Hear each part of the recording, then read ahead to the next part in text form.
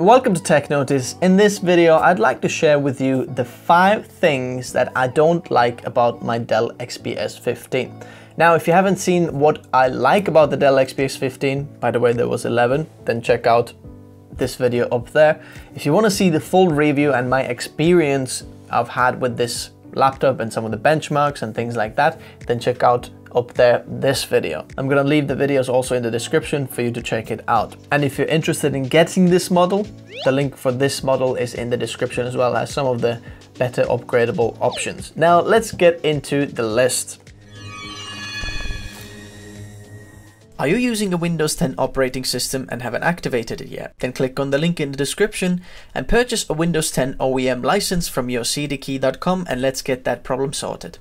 Once you've completed the purchase, the activation is easy. Hit the Windows key, type in activation and hit enter.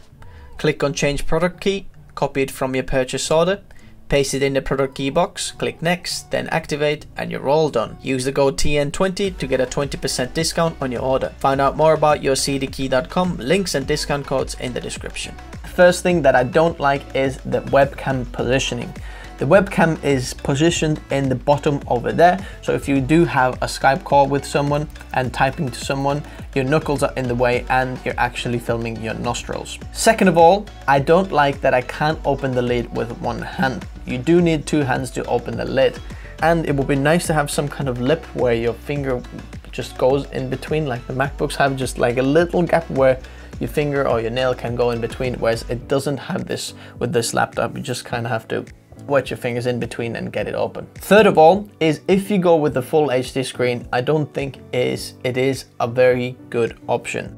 In terms of the pixels, if you can upgrade to the 4K one, but I've had my full HD screen over here and I can just I just feel the lack of pixels. Just some of the fonts feel a little bit iffy and just in terms of pixels, the colors and the matte finish, I think that is all very good, but just the pixels, it's lack of pixels! Fourth of all, what I don't like about this laptop is the keyboard.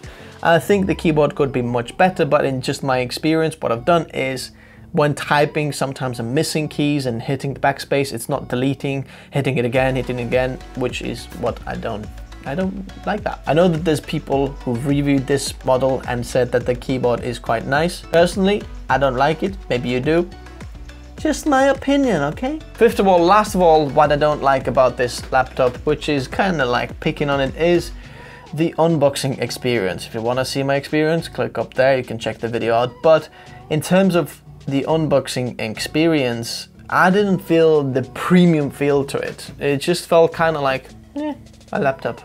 Whereas if I did get the Razer one, I much pre preferred the Razer Blade 15 unboxing. If you haven't seen that one, the, the video's up there. The first impressions kind of were meh, but later impressions were much better, but I prefer if I get a really good impression straight away. So if you are one of the Dell XPS 15 users, I'd love to know if you have something else that you don't like about your Dell. Just comment below if there's anything else that kind of know you or maybe, you know, people should know about. Anyway, if you found this video helpful or found it interesting or enjoyed it, hit that like button. If you didn't, feel free to hit that dislike button twice. Subscribe if you haven't already, and I'll see you in the next video.